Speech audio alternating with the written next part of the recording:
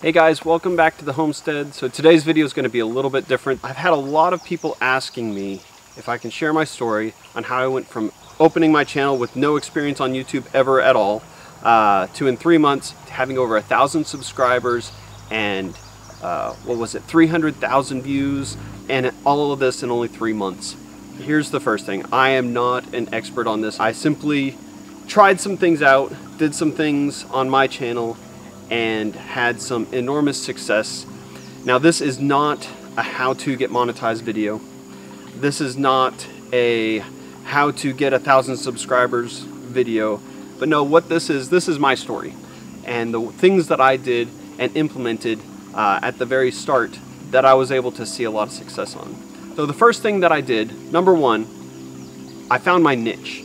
Now the types of videos that I enjoyed watching on YouTube were homesteading videos, things. I've always been an outdoorsy type of person and so it was pretty easy for me to narrow down my niche of what I wanted my videos to be. So that's the first thing is is find your niche. Get get focused on what it is that you're trying to say. But for long-term success, it's got to be something that you're passionate about. It's got to be something that you care about because when you care about something, other people care about that thing. And when you can put your heart and soul into not making a video, but doing the things that you're passionate about, then people get your heart and soul out of that. And when people connect with people, and when people connect with you, that's when they watch you, that's when they subscribe, that's when they continue to want to build that relationship with you. So really niche down into something that you're passionate about and that can have long-term success for you. And then stay focused. Don't be distracted by every whim that you get. You know, if it if it doesn't meet your criteria of what your niche is. You know, if, if your niche is is beauty and fashion, then you know maybe taking a hike and going fishing isn't going to be the best video. Now maybe if you can incorporate some beauty and fashion into that, uh, it, it, could work and, and, I'm sure that many people do. Uh, but really stay focused and stay consistent with the content that you're putting out so people know what it is that they're going to get when they turn on your channel. So after you've found your niche, after you've really narrow down what it is that the, the topic of conversation that you want to bring up on your channel, you want to set some realistic goals.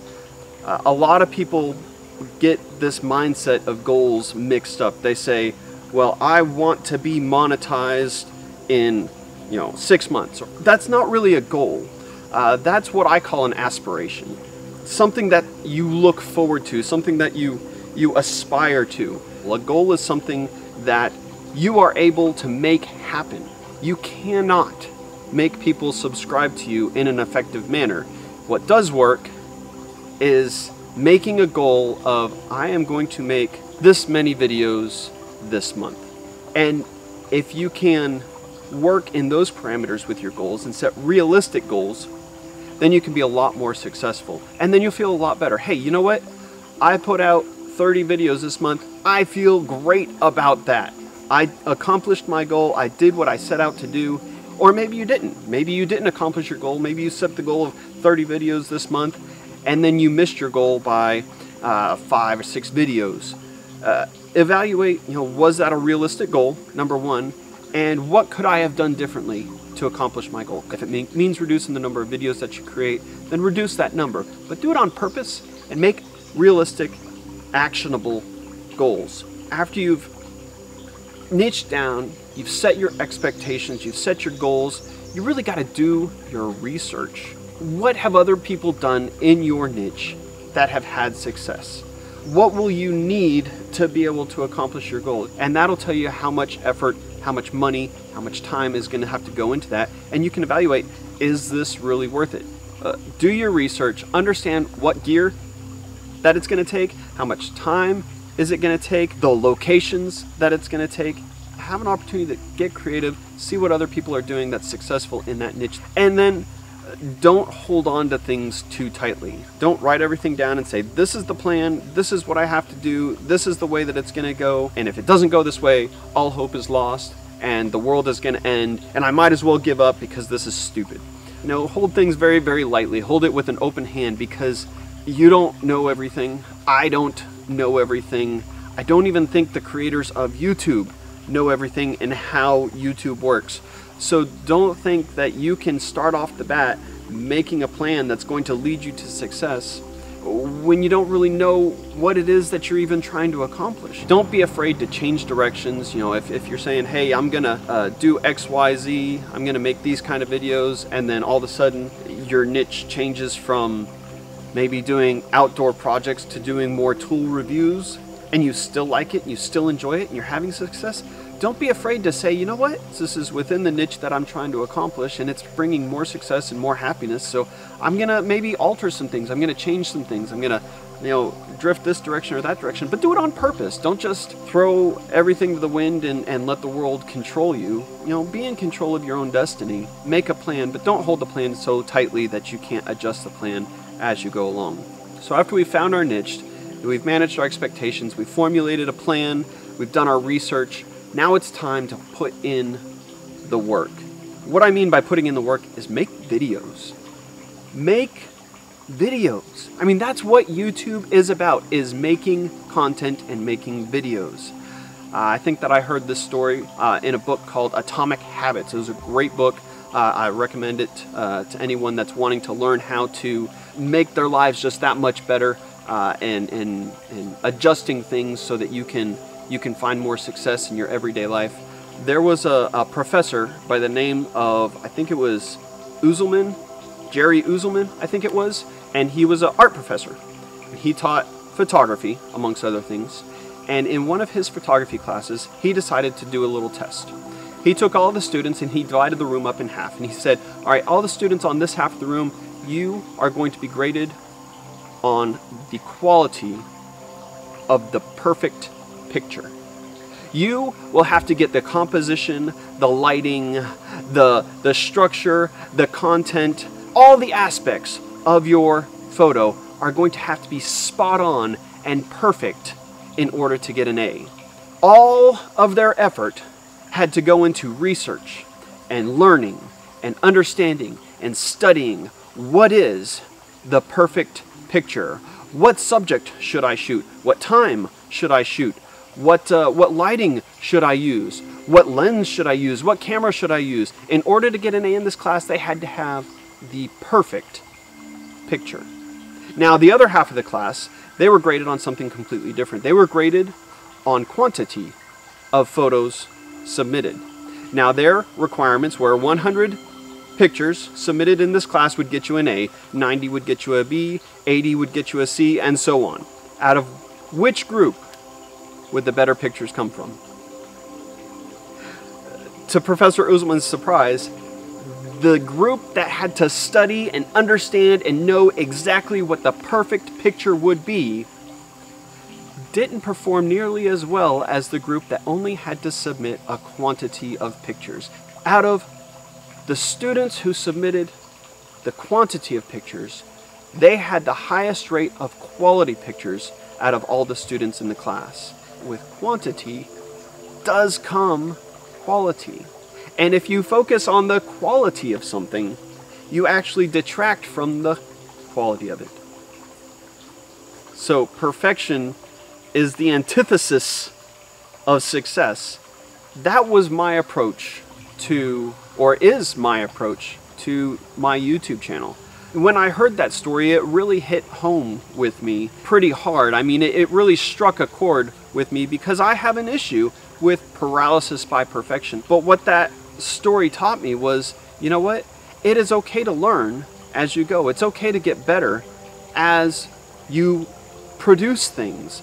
I mean, the world is full of theories on how to do something, but what it really boils down to is the people that do the work and the people that do not. The people that do the work see success, the people that do not do the work. They don't have success or at least they don't have long-term sustainable success. So YouTube is not any different. It's not any different than taking a picture. It's making those videos. And you can come up with all the theories on how to make your video or the content that your video needs to have or what kind of thumbnail or all of this theory that goes into YouTube. But here's the deal, I've seen success with people doing all of those things or none of them. Uh, some of the, the videos with most success on YouTube are the worst produced and the, the sorriest excuse of a video I've ever seen, but they have success because they're out there. Test for yourself what works well for you and make lots and lots of videos. The more videos you make, the more people can see who you are, the more people can see your content, the more you're going to strike a chord with somebody. But if you don't make that content, if you don't make enough content, then the chances of you actually hitting that stride are few and far between. So when I set out to make my channel, I had more time than I do now. Let's put it that way. we were in the middle of lockdown. I was bored out of my mind. So I went out and I grabbed my chainsaw and I cut down a tree because my wife wanted some raised garden beds. And I was like, you know what? I'll I'll bring my camera along uh, and uh, and record this. So I cut down the trees, I recorded it, and I posted it on my personal YouTube channel. And all of our friends laughed and had a good watch. And, and so the next day I, I made a, another video on cutting up the lumber and, and making the beds, or I can't remember exactly what it was on. And it just kind of progressed. And I said, you know what? I'm really enjoying this. I'm really having a good time. Uh, I think that I want to make a channel. And so I talked with my wife, I talked with my kids. I, I made sure that they were okay with it first and I wanted it to be a, a, family thing where we could all get involved because I love my family. I'm passionate about them. And if I'm passionate about them, I want to be able to share that passion with other people. But then when I started my channel, I said, you know what? I'm going to make as many videos as I can. And my goal that first month was to make at least one video a day. And it drove my wife crazy, but I managed to make one video a day. And then the next month, I continued to make one video a day. And so within two months, I had 60 something videos. Uh, within three months, I had 70 something videos.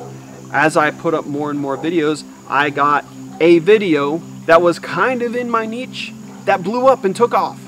We put in uh, an above ground pool that we bought from Walmart. And uh, people were going to YouTube to figure out how to put this pool up. And I put up the pool and I posted it online. And I made a, a, a video that was mildly entertaining and somewhat informative, and people watched it. And so when I saw that success, I said, you know what? I need to capitalize on that success. So that's that's probably the last thing that you want to focus on is when you do find success, when you find those things, hey, people are really interested in this. Don't throw the baby out with the bathwater and turn everything and just do pool videos, but make some more content around that. You know, I made a content on how to clean the filter, and then I made some content on what my thoughts were and how difficult it was to put up, and I made a video on on how to test the pool with different chemicals. All of those videos kind of trickled down off of the success of that one video. But if I hadn't been making lots, lots of videos, if I hadn't been pursuing the, the passions and the things that we were doing around here on the homestead, if I hadn't been uh, focused on learning and growing and doing better with each and every video, uh, then I never would have found that success. And then the very last thing that I think contributed to my success, probably more than anything else, was I found a community. I found a community of like minded people that were creating their own YouTube channels around their homestead. I found a community of like minded people that wanted to to grow in the things that they were doing and share that with other people. Hey, these people have become my friends and I enjoy watching them. I enjoy watching their channels grow. They enjoy watching my channel grow. We we celebrate each other's successes. We get invested in each other and we we encourage each other and we help each other out. And more than anything else in the in, in the entire YouTube platform, I think that that community that I found is worth more than any of the, the monetization that I've seen. So that's my story. That's that's how I went from starting a YouTube channel to having over a thousand subscribers in just three months, doing it organically, doing it for real. I haven't paid a single person to watch my videos. I have not subscribed so that somebody else would subscribe to my videos. I've simply been a real person in real life, talking with other real people, engaging in community, creating lots and lots of videos, doing my research, and having a great time doing it. So I hope that you found this video helpful and, or informative. I hope that you can find as much success, but more than that, I hope that you can find some joy in making these videos or, or running your YouTube channel. And if you don't, man, don't be afraid to to, to let it go because that's probably more important than any other thing. So I really appreciate you watching this video. You'd like to see more of what we got going on on the homestead, hit the subscribe button and uh, uh, we'll see you guys on the next video.